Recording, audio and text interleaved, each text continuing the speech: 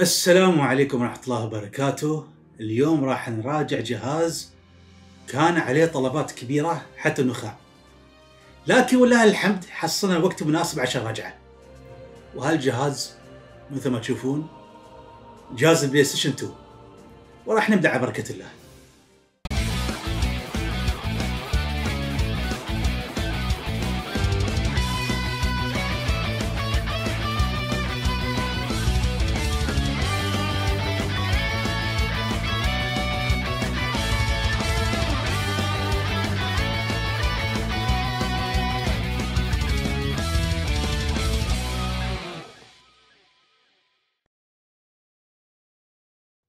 جهاز ال PlayStation 2 صدر هالجهاز في سنة 2000 في مارس باليابان؟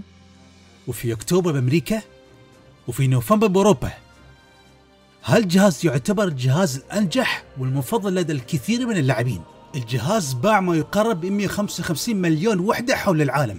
وهو الجهاز المتربع على العرش من ناحية المبيعات. تم استمرار تصنيع الجهاز الين سنة 2013 وهذا يراويكم مدى شعبيته. إلا الجزء الأخرى نفس ال GameCube وال Xbox ما كان عندهم أي فرصة أمامه.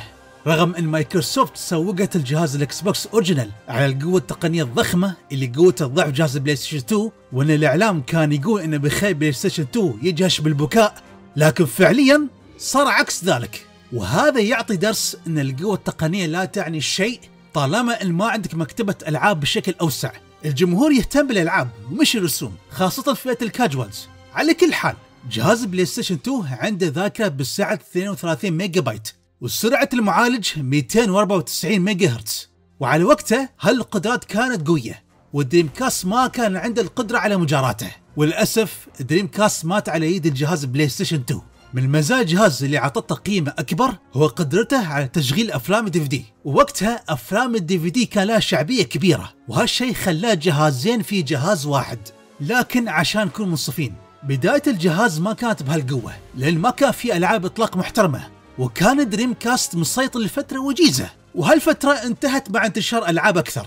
طبعا من الأشياء اللي ساهمت في نجاح الجهاز هي القرصنة. القرصنة ساعدت على نجاح الجهاز في بعض الدول النامية وحتى المساكين اللي عندهم ميزانية ضعيفة قدروا يقتنون الجهاز بحكم إن الالعاب المقرصنة سعرها مثل سعر التراب، والقرصنة هي الأخرى لها دور في نجاح الجهاز في الشرق الأوسط وانتشاره. ال GameCube وقتها كان عنده الاصلي فقط وهالشيء ما ساعد على انتشاره. وقتها كان الناس تقول عن اللي يشتري الأصلي مجنون وغير عاقل وما يدرون أصلا إن شراء الألعاب الأصلية هو التصرف القانوني اللي تريد الشركات من زباينها. دعمهم عن طريق شراء منتج أصلي. على كل حال خلينا نتكلم عن شكل الجهاز. أوكي أتمنى إن البعض ياخذ كلام بصدر رحب. بصراحة تصميم الجهاز بالنسبة لي على الأقل بشع وما أشوفه تصميم انسيابي. حتى تصميم مبدئي أو تخيلي كان أفضل بكثير. هذا شكله تقول مكيف. هذا طبعا لما تحطها بالعرض لكن لما تحطها بالطول شكله راح يكون مقبول أكثر بكثير وتحس نوعا ما بالفخامة. خاصة لما تركب فيه القاعدة اللي تثبت الجهاز بالطول وحركة حلوة من سوني بأنها تخلي الجهاز مصمم إنه ينحط بالطول أو العرض. بس بالمجمل أشوف أن تصميمه هو الأضعف بين المنافسين. في سنة 2004 صدرت نسخة مصغرة من الجهاز باسم PlayStation 2 Slim وفكرته إنه يكون بتكلفة أقل وبحجم مناسب وملائم للمستخدمين. مثل ما تشوفون في فرق واضح بينهم بالتصميم وصاير أقل سماكة راح نستعرض الاثنين بعد شوي. خلنا نتكلم الحين عن مداخل الجهاز. هذا هني زر التشغيل. يوم تشغله يتلون باللون الأزرق. وإذا كان أحمر فهذا يعني أنه مغلق. هذا زر لإخراج قارئ الأقراص وإدخاله.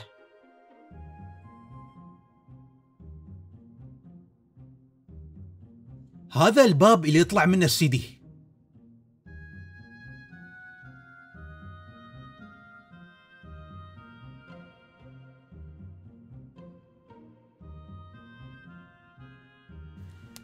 في فتحتين لتركيب أيادي التحكم. فوق مباشرة في فتحات لتركيب بطاقات الذاكرة.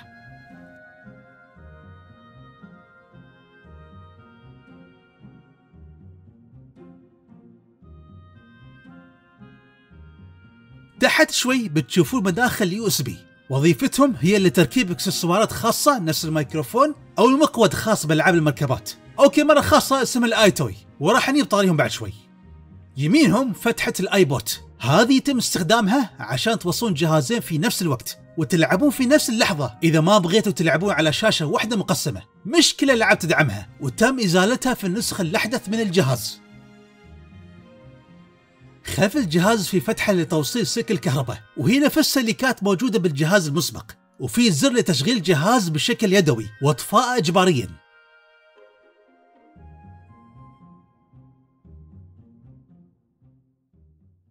هذه فتحة ال AV multi out عشان توصل الجهاز بالتلفاز وهذه فتحة digital optical هذه عشان تستخدمها للسماعات الكبيرة أو ريسيفرات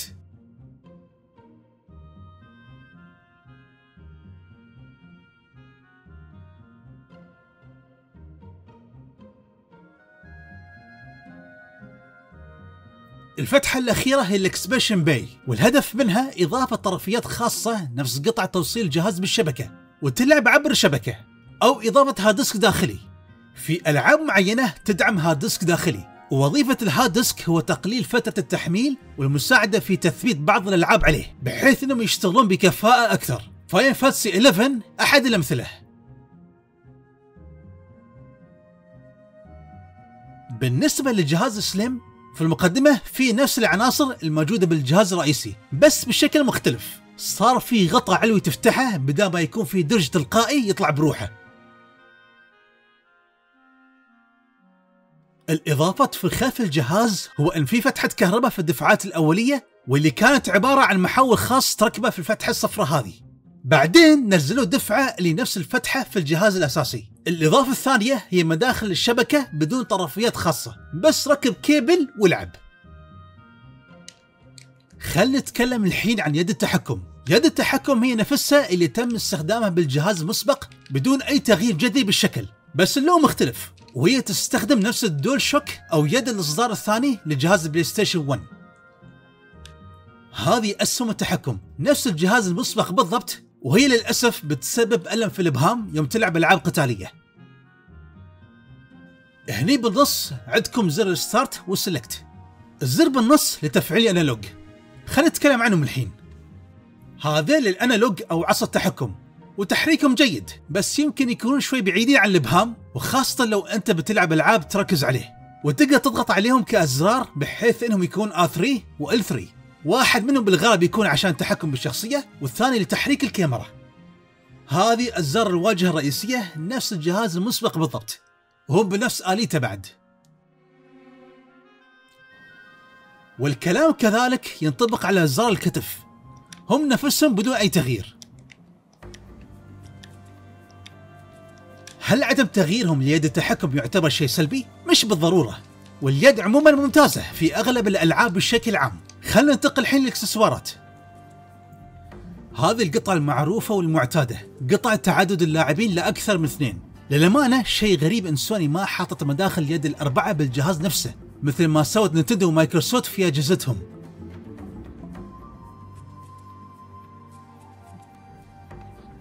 هالقطعة هي قطعة ال EyeToy. فكرتها نفس فكرة الجهاز ال Kinect بحيث إنك تستخدم الكاميرا في اللعب وفي ألعاب محدودة جدا تستخدمها.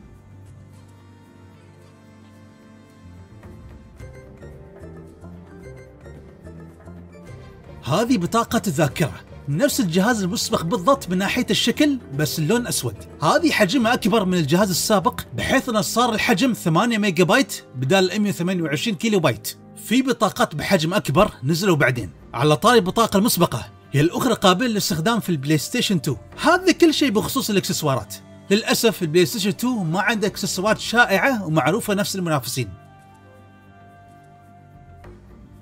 الحين بالنسبة للأغلفة والسيديات هذه هم الأغلفة الخاصة بال PlayStation 2 وهي أغلفة موحدة على عكس الجهاز السابق اللي حصل على نوعين من الأغلفة. هني بتشوفون كتيب خاص باللعبة مع السي دي. الحين بالنسبة للسيديات ال PlayStation 2 في البداية كان نستخدم compact CD أو السيديات العادية بطبقة سفلية زرقاء. بعدين انتقل لل DVD وعلى طاري ال DVD الجهاز يشغل أفلام ال DVD بدون أي مشاكل لكن مشكلته إنه مغلق اقليميا. وفي حتى remote control خاص فيه ويتم استخدامه كمشغل لأفلام ال DVD وطبعا هالشيء كان أحد أسباب نجاحه الساحق الحلو بالجهاز إنك تقدر تسترجع ذكرياتك وتشغل عليه ألعاب ال PlayStation 1 الحين بنشغل الجهاز ونستعرض القوائم مالته.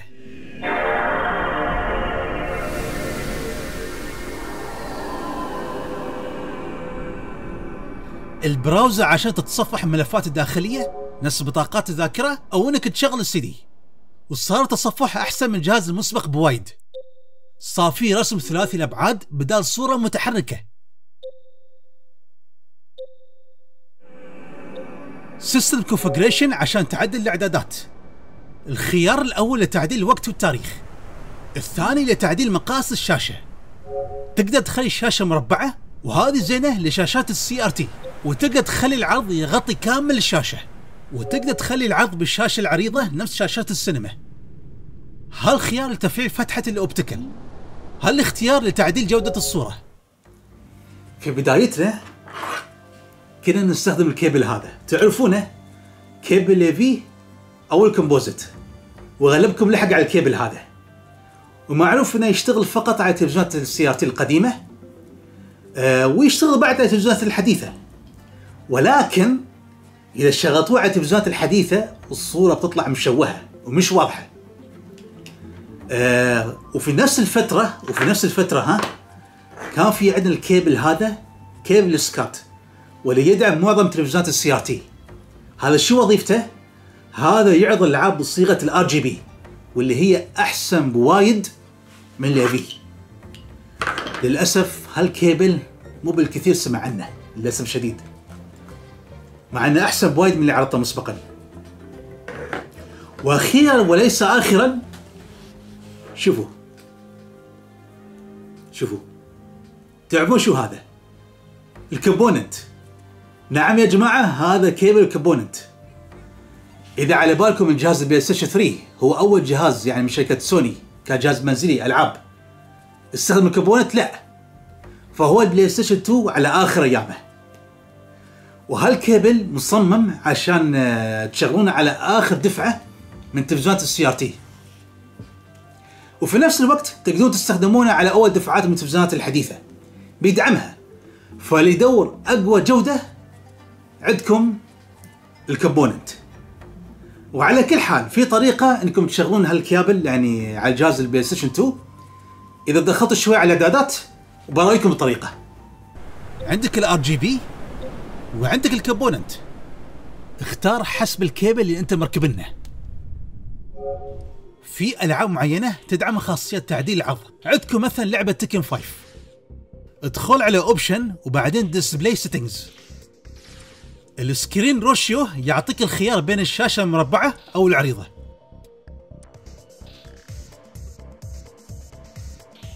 ال video mode عشان تفعل ال progressive mode. على فكرة هذا خيار حصري فقط لكيابل ال component وبيعرض بجودة عالية.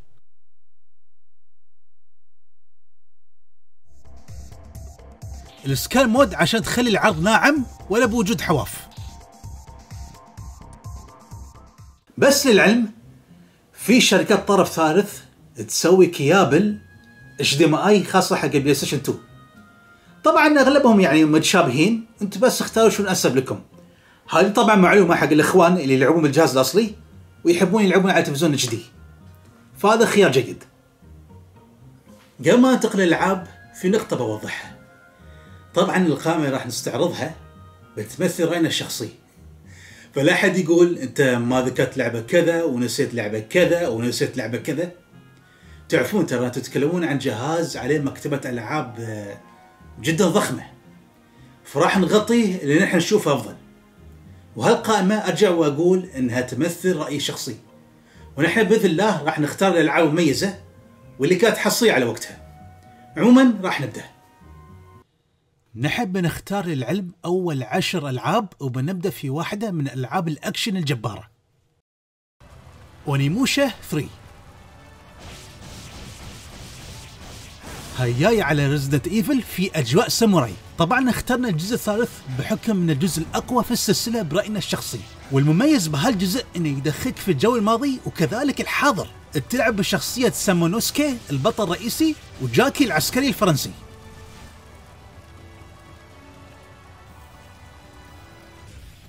Devil May Cry 3 من أقوى ألعاب hack and slash على الإطلاق واللي ساهمت في انتشار هالنوع من الألعاب. لعبة مغامرات أكشن تركز بشكل كبير على العمق في القتال والضربات المتتالية مع تنوع الأسلحة من غير المقاطع السينمائية الأكشنية الخرافية.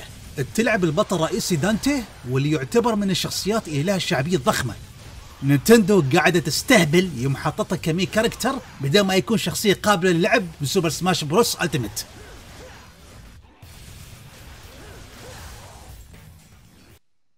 Metal Gear 3 هل أنت من محبي ألعاب التجسس بقصة سينمائية وبإخراج اسطوري؟ عندك Metal Gear 3 الجزء المفضل لدى الكثير من اللاعبين بسبب الأفكار اللي تمت إضافتها بهالجزء من غير القصة الخرافية الدرامية من الألعاب اللي ما تتفوت. أنت تلعب الاسطوره سنيك ال Big Boss وتعرف بداية قصته. Silent Hill 2 من ألعاب الرعب اللي كان لها صيت بالماضي. وكانت منافس شرس ل Resident Evil. شيء محزن إنك تشوفها ميتة بالوقت الحالي. تميزت هاللعبة بالقصة المثيرة وال gameplay مميز وحتى الالغاز ذكية. تلعب البطل جيمس اللي مهمته العثور على زوجته.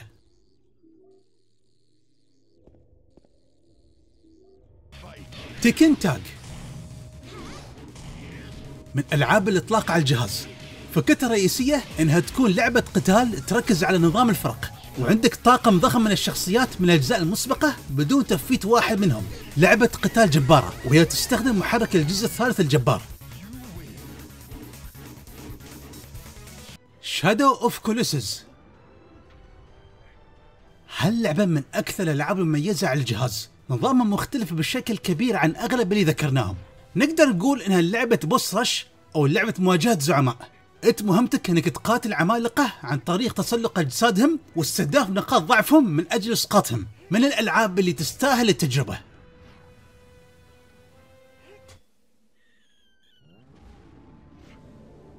Maximo.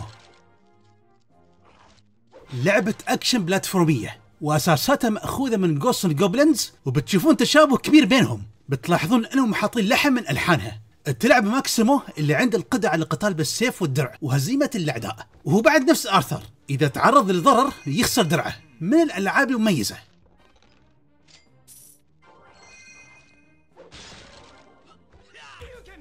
Street Fighter EX 3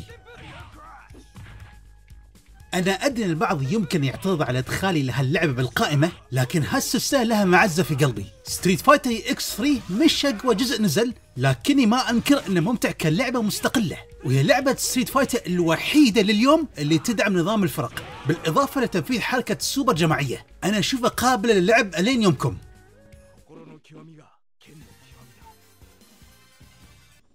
Soul Reaver 2 من تحف Eidos اللي افتقدناها لعبة مغامرات أكشن استكشافية وبأجواء سوداوية وبقصة شيقة. هذا جزء ثاني للجزء الأول اللي نزل على PlayStation 1 واللي تكلمنا عنه بشكل طفيف مسبقا. تلعب Raziel مصاص دماء واللي مهمته انتقام من أخوه Kain اللي كان السبب في تشويه شكله.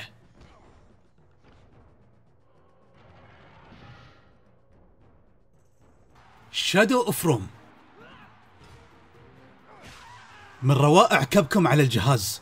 لعبة مظلومة بشكل كبير جدا واعتبرها من الجواهر المخفية. تبى تعيش الأجواء الرومانية الدموية؟ عندكم Shadow of Rome تلعب بأغريبا اللي يريد يصير أقوى gladiator أو أقوى محارب في الفعاليات. وتلعب بشخصية ثانية اسمها أوكتافيانوس اللي يستخدم أسلوب التجسس والتسلل من أجل الحصول على المعلومات. هذا كل شيء بخصوص أحلى عشر ألعاب على الجهاز.